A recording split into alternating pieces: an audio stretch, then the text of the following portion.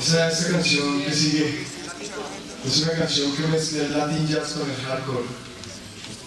Eh, dándole Latin Core se llama.